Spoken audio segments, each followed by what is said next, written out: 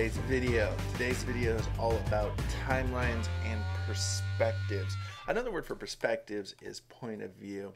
And more specifically, we're going to look at the different scales you can use for timelines. Uh, but to help you understand a little bit about what we're talking about, I got something for you to do before you even start. Uh, here's what I want you to do. You're going to pause the video. You're going to jot down three timelines. At the first timeline, uh, you're going to write down everything that has happened today, at least 10 events. Um, and I want you to space it out about one inch equals one hour. So actually, you'll only be doing about the last 10 to 12 hours, depending on how big your paper is. Then in the second timeline, I want you to write down what has happened in the last week. So each inch is going to equal one day.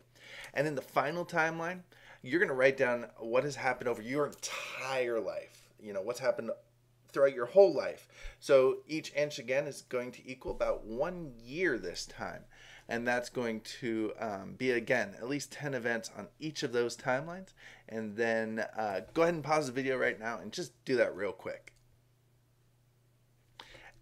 Excellent. Now that you've done that, uh, let's take a look at what we're talking about today. I want you to start by looking at this picture. What are the details you can see in this picture?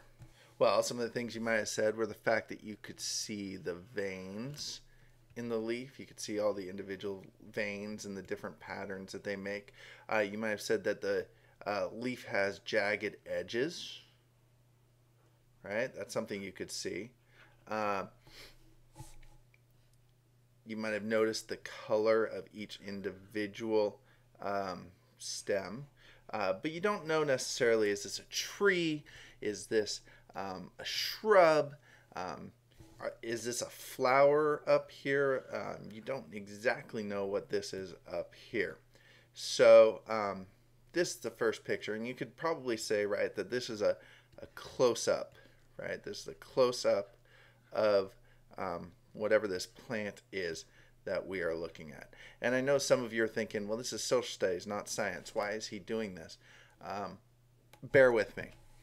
Uh, let's take a look at another picture of the same plant. Um, and now, what can you see in this picture that you couldn't see in the other pictures? You may have said, well, now that I know I know this is a flower right here. Um, I know it's shaped kind of like a bell. Um, you may have also said, hey, I can see more than one flower. You know, they're obviously in these clusters. Um, you can still see the leaves, um, but you may not have noticed the jagged edges if this was just the one thing or the the one picture that you had. Uh, you can also say see that this long stalk here has lots of different pictures or lots of different flowers. So you can see different things in this picture, but you lose some things as well. Uh, let's look at one more picture. Again, I know this isn't science, this is social studies, but bear with me one more time. We've got one more picture here. This is, of course, the same plant. Um, in this picture now, you can see that the plant is, in fact, a shrub or um, yeah, a shrub, uh, you can see that um, there are multiple stalks of pink flowers coming off of this thing.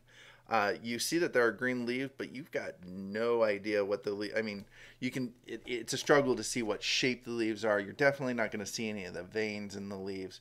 Um, you can see plants that are neighboring this plant. Um, you got some lavender here, um, over here. Um, you can see maybe some animals that hide in them.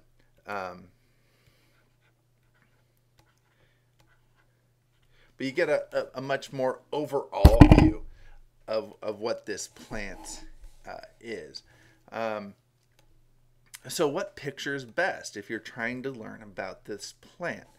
Well, um, the answer is going to be it depends on what you're looking for. So, it all depends on um, your perspective, right?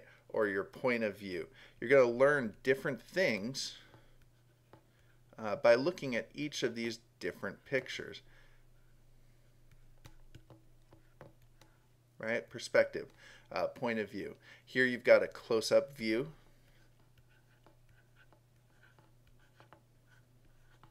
Um, here you've got kind of a medium view. And here you've got the whole view, the view of the whole plant. So again, it just depends on what you're looking for.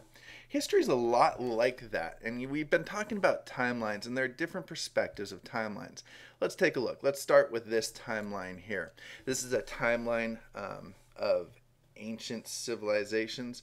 Uh, you can see that down here with the title, Ancient Civilizations.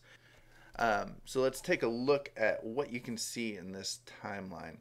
So as it zooms forward, we've got uh, Egypt here, You've got Sumer here, the Minoans, uh, people we're going to spend some time learning about. Um, and as we zoom forward, um, you'll see that we've got uh, different groups. Israel, again, uh, we've got the, the Byzantine Empire there. We've got uh, Teotihuacan here, the Toltec, Chimu, um, D. So a huge, long time frame here. Uh, you don't know, you can't learn much about the people from Teotihuacan. You just know that they're kind of here between somewhere after 200 uh, through somewhere around 650 AD. And that's all you learn about them here. Let's take a look at a, uh, a closer up view. Um, here we've got a much uh, more condensed time frame, about eh, 400 years or so. Uh, you got 1492 to 1861, um, and different events that happen in this time frame. Uh, so you see here 1607. Again, these are all these years again are uh, in AD, which stands again for Anno Domini, right?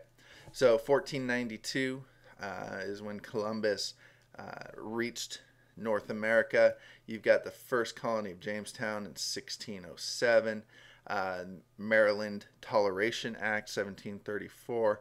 So you know these are happening in uh, the United States, or what would become the United States.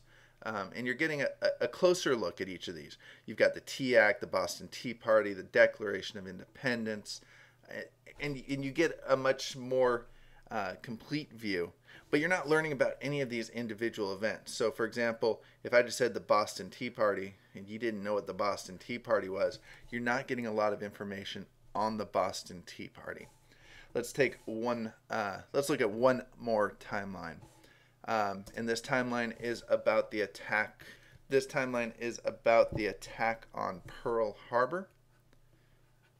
You know, and uh, if you look at this, the timeline is a matter of hours. It starts around midnight and goes to about 9 o'clock a.m. So we're talking about around nine hours or so. Um, and you can see here we've got on late December 6th, the U.S. intercepts Japanese message instructing its Washington ambassadors to terminate discussions with the U.S. Um, then you've got here at 6 o'clock, the Japanese launched the first uh, groups of warplanes from aircraft carriers. So you're getting a much more complete view of this one event. You don't know what happened before this event. You don't know why the Japanese are attacking. So you can see you've seen three different scales here, three very different scales um, with uh, timelines. Uh, let, let's talk about each one. So you've got a panoramic scale. Uh, this is a very wide perspective and it's a long term, it helps you find long term patterns in history.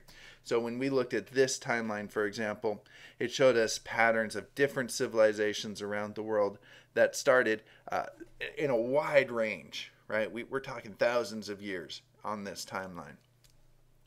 Uh, then we've got a landscape scale. This is a wide span of time, but it's more focused than the panoramic scale. Um, so it's going to be a smaller time frame, but still pretty wide if you take a look at it. So if you look at this one, this was our panoramic scale, uh, 400 years of history, uh, focused on the United States, uh, but again, still pretty broad. You're not learning about individual events. And finally, we've got our close-up scale, which is where you explore relatively small area or small time frames of history. Helps us learn about about individual events. So, for example, the attack on Pearl Harbor, we're talking a matter of hours now. Uh, there are different perspectives, just like when we were looking at that plant. You can look at history in, in different perspectives. You can take a look at all of history, a huge, wide view of history. Uh, and that would be our panoramic scales, where you've got thousands of years on a timeline. Uh, you, we've got the landscape scale, uh, which is where it's it's more condensed. You're talking about a couple hundred years of time, and it, it gives you uh, more specific events. And then we've got a close up scale where it's a day, a couple of days, maybe a year, um, maybe an hour, uh, where it shows all the events leading up to something. So it's a very specific thing, and, and you're learning a lot about a certain event.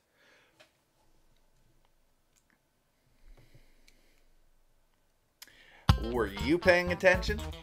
Answer the following questions find out. Question number one What three scales did we talk about when using timelines?